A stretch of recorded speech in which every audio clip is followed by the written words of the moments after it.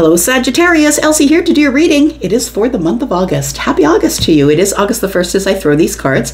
And uh, thank you so much for clicking here. I do appreciate you. For those of you who have never been here before, welcome.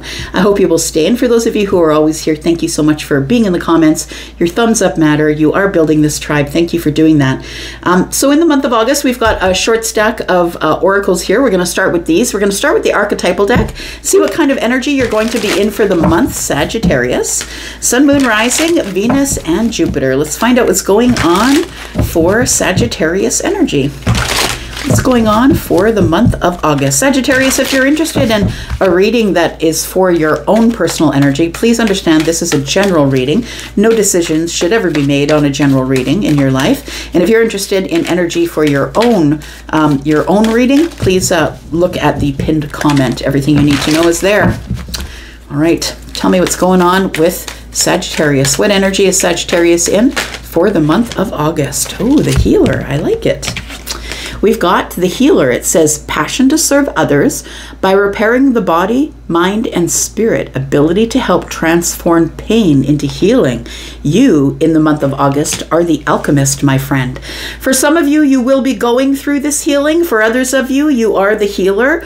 And understand that you don't have to be a shaman. You don't have to be someone who lays your hands on other people. You don't have to be a doctor or a nurse. Like when you're a healer, sometimes that means that you invite people over. You give them tea, you give them food, you listen to them, you talk to them, you give them advice. I feel like you're that kind of a healer. You are a person who maybe does lay your hands on people. Possibly you are a shaman, but you are somebody who, you know, somebody's got is laying their hands on on somebody here, but you might do it in a different way. Maybe you're a massage therapist.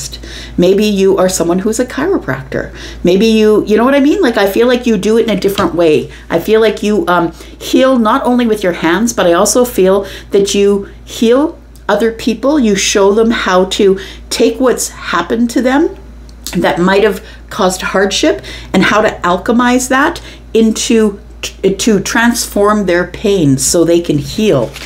I kind of love that. It's kind of badassery a little bit. Bottom of the uh, deck, we have uh, Addict. It says, helps you recognize and confront addictive behaviors. So I feel like you've been through this already. I feel like somebody here has been through this addictive behaviors. I feel like you've conquered it, I want to say. And that's why you're the healer because you can't be anything, like you can't teach anything that you are not. So I feel like once you got through all of this behavior, these addictive behaviors, you became the healer because once you learn how to heal the self, you can then help heal others. Tell me more about Sagittarius, please. And Sagittarius, I've always seen you that way as sort of a, a Florence Nightingale, someone who is like under the radar but is always helping people. And it doesn't just uh, end at wherever you perform your healing, it doesn't end there. You're doing it all the time. Feels like you're the, the alchemist, that you have alchemized your own pain into, um, into healing. And uh, I feel like you're teaching others how to repair the self, uh, the mind, the body, and the spirit. Tell me more about Sagittarius, please. What else do we need to know about Sag? We do have mental conflict. So I feel like this tells me that maybe you do it too much, that you um, maybe become emotionally or mentally exhausted. That's what it feels like. And when you do that, you don't necessarily trust yourself and the um, the decisions that you're making. So be aware that even the Empress um, can get a little bit exhausted because the Empress is everything to everyone. But also, I mean, the Empress um, being all of the queens, right? We have the fertility here. The Empress being all of the queens is also, you know, somebody who is the Queen of Cups, for instance as long as they have the Queen of Wands with the Queen of Cups um, wisdom, they know that you know the Queen of Wands is going to teach the Queen of Cups to drink for themselves first. So they're always they're always going to be replenished here. So I feel like um, instead of uh, that you're going to get out of this mental conflict here, and I feel like you're going to repair the self by reminding yourself that you are the Empress, uh, feminine or masculine. You are somebody who embodies all of the queens, and I feel like you've learned these lessons. You've become the Empress because of the healing that you've done, and so I feel that that maybe sometimes you will overextend yourself because you know that other people are in peril, and I don't think that you like that. But please remember to always replenish the self. Um, we've got bottom of the the uh, deck is the firm foundation, so please keep your foundation firm or you're not going to be of any help or use to others. And uh, or yourself by the way make sure that first of all that you are that you are taking care of you. We do have healing. Again, look, we've got, look, I am speaking to someone who is probably doing this as a living here. That you might be someone who is, who is um, a nurse or a medic, somebody who is um, helping people who are in peril. Um, and you could be doing that physically. You could be a psychologist, a psychiatrist, helping people emotionally. Take it as it, as it, um, as it resonates for you. But I really do feel that you are the healer here. Um, we do have boundaries, but you must have boundaries. And I often wonder about that too. Doctors, nurses, people who are medical staff, right? People who um, get really close to the patients, right? That you have to have these boundaries because you can't take on everybody's stuff. You can't take on everybody's energetic losses. All you can do is heal them or give them the tools to heal themselves. And I feel like you can do that because you are the Empress. So I feel like just to be careful that you keep your boundaries this month because I feel like you're going to have lots of opportunities in, in healing. And uh, every time you heal someone else, you're going to have to clean your own energy energy. That's the way it goes, right? Tell me more about Sagittarius, please.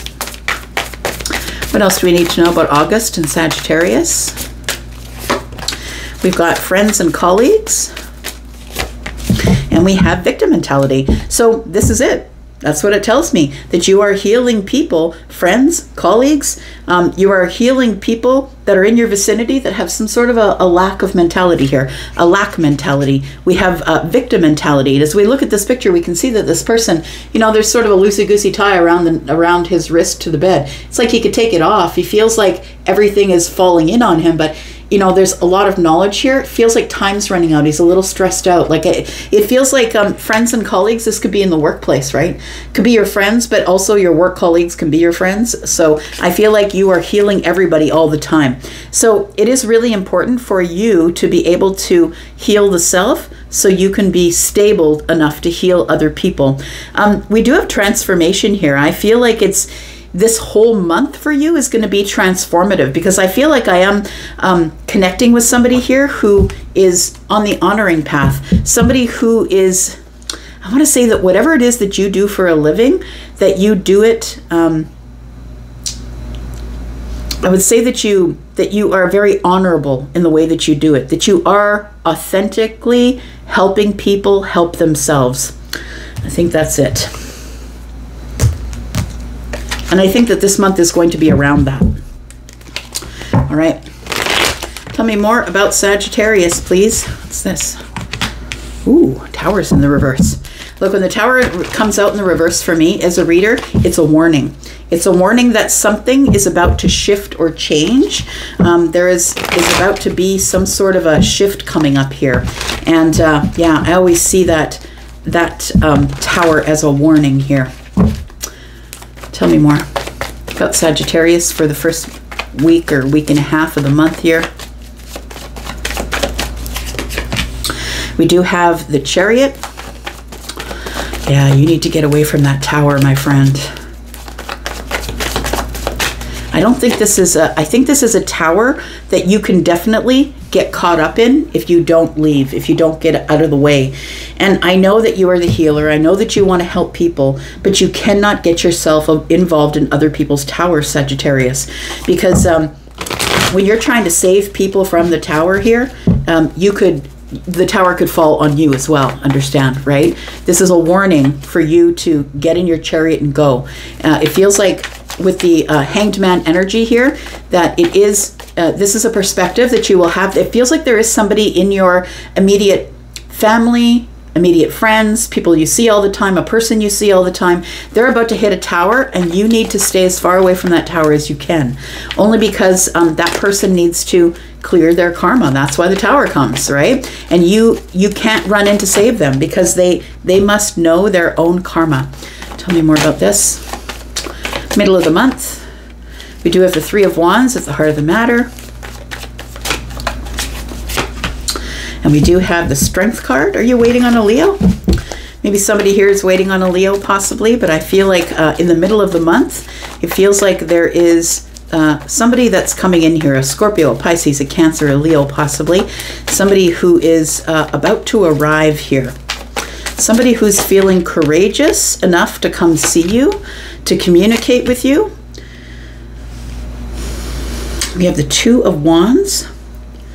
we have the Hierophant, and we have the Nine of Cups. Just listening.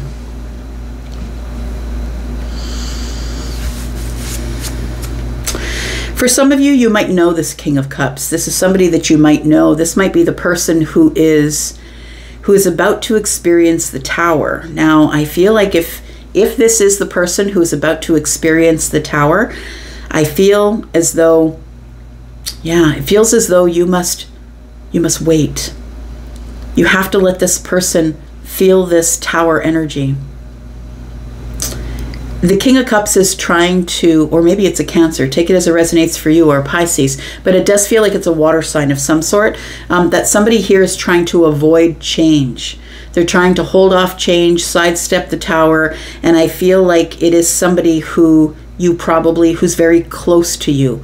I want to say that even though they're close to you, maybe you love them, maybe they are a, a, somebody who's in your family. Family, maybe this is um, a father Maybe this is an older brother, um, sister, mother. Take it as it resonates for you, feminine or masculine. Um, it feels almost like you you need to step out of the way and let the tower fall. Um, this person need, has a lesson that they need to learn. I think that you know that the tower is coming, Sag. I think that you know it. I think you're already in the chariot, honestly, to, at the beginning of the month here, and that you are you need to sacrifice the situation because I feel like it, it has nothing to do with you. And I feel like this person needs to feel feel the change, feel the shift, the upheaval. I feel like you need to have the courage to, to wait, to wait, to get in your chariot, to go and to wait for the tower to fall. I think that you know it's going to fall, but you're waiting for this person to call you and say, How do I heal myself? The tower has fallen here. At the end of the month, it feels like here that you are at the crossroads preparing for something. Preparing for maybe you're going back to school, maybe you're going back to church, maybe you're learning a lesson from somebody who has more spiritual knowledge than you. And I feel like you are, it, it is going to bring you some joy. It's going to bring you wish fulfillment and happiness here. I feel by holding back and not getting involved in this person's life who's going to have the, the tower fall, I feel like I feel like that's the lesson that you need to learn here because I feel like I'm speaking to somebody who wants to just run in and save everybody. And if you keep running in and saving people from their karma, they're not learning their lessons, which means they keep getting tower after tower after tower. They keep going through this lesson over and over. You understand, right? You keep if you keep trying to save them, they don't learn the lesson and then the universe gets really tough with them. So let them go through their tower. We do have the devil in the in the distance here. Uh, we do have the Three of Cups with the Devil. It seems to me that, um, yeah, it might be excessive partying, excessive celebration that leaves somebody stuck here. It might be a member of your family. All right, let's clarify a little bit, find out what's going on here. Tell me what's going on with this tower in reverse, please. For Sagittarius, what's going on? This tower in reverse. I don't think this this tower is yours, but I really do feel like it's uh, the tower is about to fall on somebody that you really that you really care for, that you really love. Tell me more. Oh, okay, we've got something that's buckled here. We've got the Four of Pentacles, the Page of Pentacles,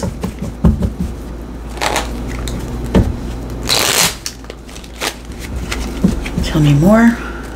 This deck is so small, it's hard to handle. Hang on. We go.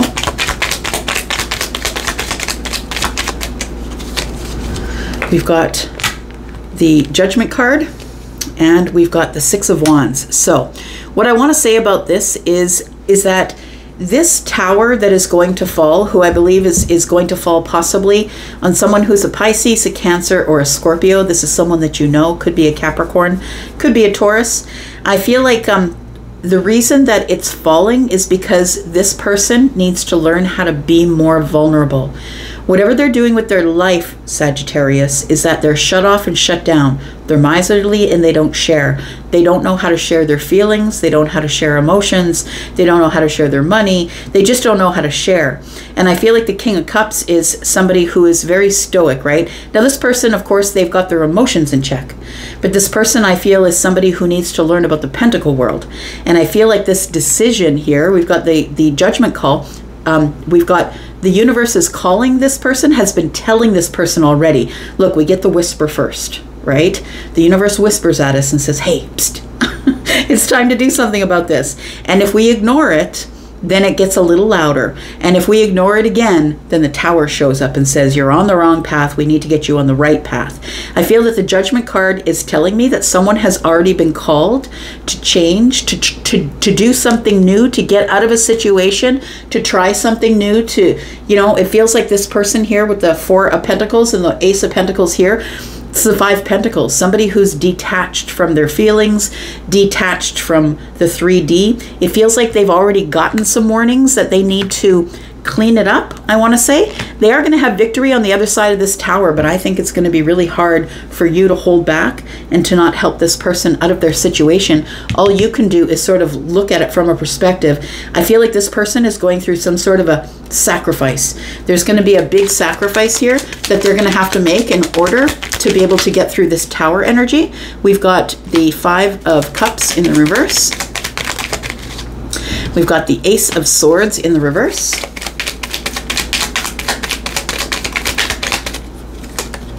We've got the Five of Pentacles here. So it, it does feel to me like somebody here is needing to see a different perspective on something. Somebody here is shut off and shut down. I feel like it's the King of Cups. Somebody who uh, is, um, you know, it's like, hello, like this person doesn't flinch. They never flinch. It feels like they need to be more into their emotions. They need to be more feeling. They need to stop keeping it under the surface. And I want to say that this, whatever it is that's coming up here, the sacrifice that they're going to have to make is the detachment. I feel that this person, I feel the reason that they are detached is because something may have happened in the past, like way back in the past when they were a child, and it made them stuck in this immature energy.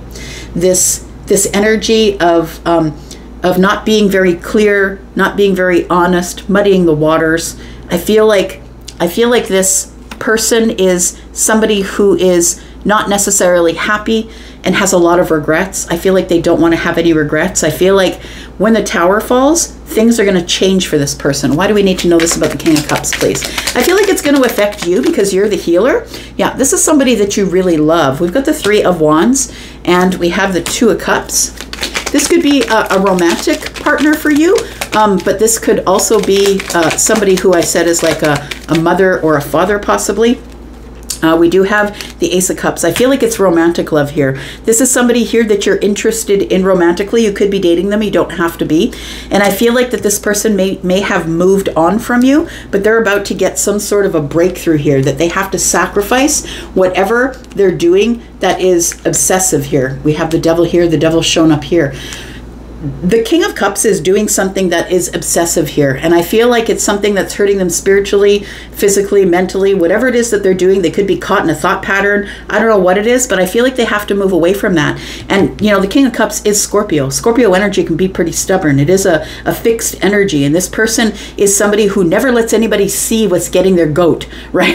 never lets anybody see it on the surface. I feel like this person is also somebody who doesn't really show their feelings. I feel like this is someone who really loves you could be, like I said, a parent, or it could be someone that you're in love with, right? Romantic love that has never shown you their feelings. I feel like this tower is coming for this person because it's really important that they have this this breakthrough in order to be able to live their life in a better way. I feel like you're the person who's standing on the sidelines as the healer, waiting for this tower to fall. I feel like you get in your chariot and you go, you let this person deal with the tower, and then you come in and show them how to heal themselves. I love that. Tell me about the Three of Wands, please. What are we waiting for here? I, I, got that song, John Mayer, Waiting on the World to Change. Look at this, we've got change. The devil, uh, sorry, not the devil, but the, the death card has popped out here. Uh, one more. One more for Sag. Oh, we've got way more than one. All right, but we'll look at them anyway. So we've got uh, the death card here. No more waiting. What are we not waiting on anymore? We've got um, the King of Pentacles. We've got the High Priestess in the reverse. Very interesting. Something is going to be revealed to you in the month of August here. Something you've been waiting on in terms of finances.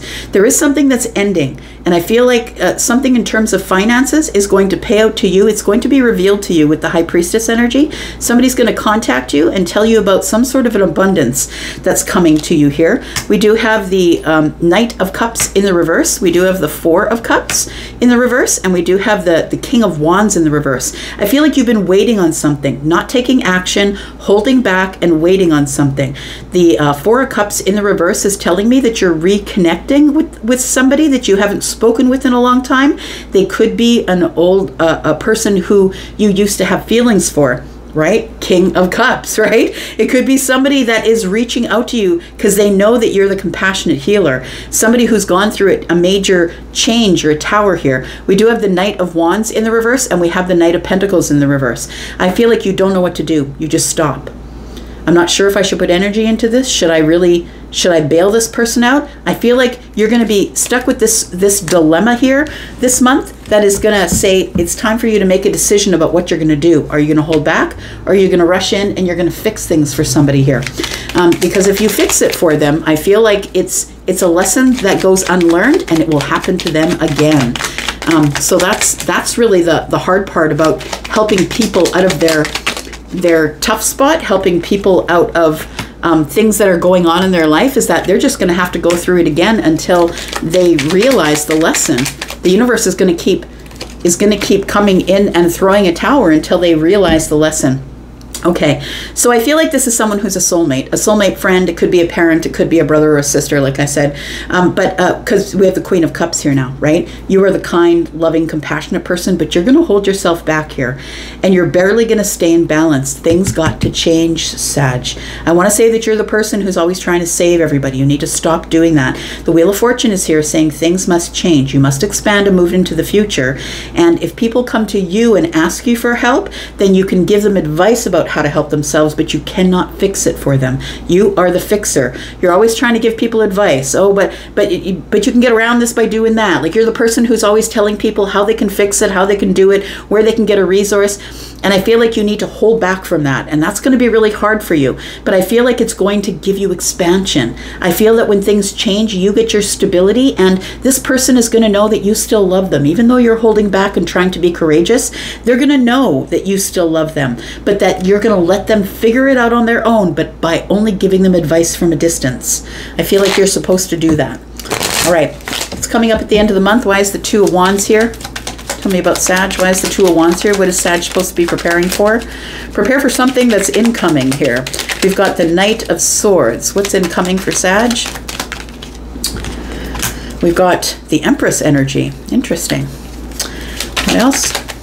And we've got the Ten of Pentacles. Look, you know what? I really feel like this this here that's going on in the middle of the month levels you up, Sag, because we have um, we have the uh, Knight of Swords coming at the Empress, and then we have the Ten of Pentacles. I feel like you need to prepare um, because I feel like whatever lesson it's like you're learning a lesson off the back of someone who's going through a lesson, I want to say. And you need to be prepared because I feel like this is a lesson that is something that you are going to teach your posterity.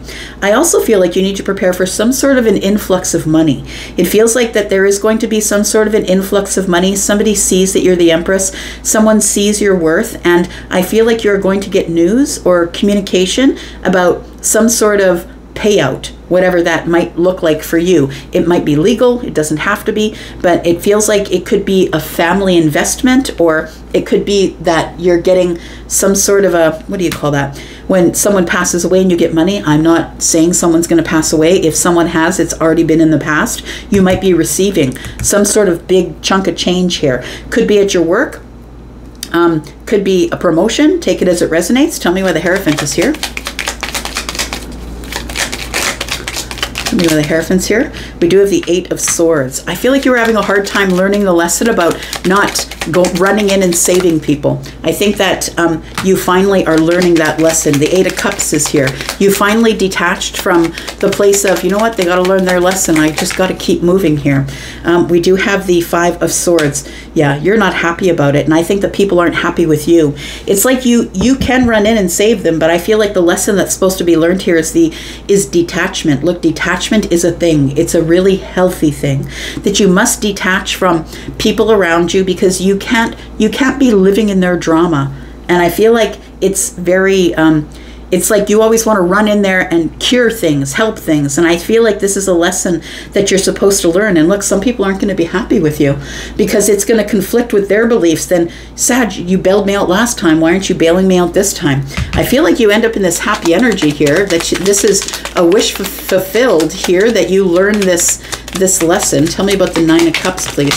I don't think you're sad at the end of the month at all. We've got you on a brand new path and getting some clarity and we have the Two of Wands. So I feel like you need to prepare to get some clarity about what really does make you happy. We have the, the page of Wands here, which tells me it puts you on a brand new path.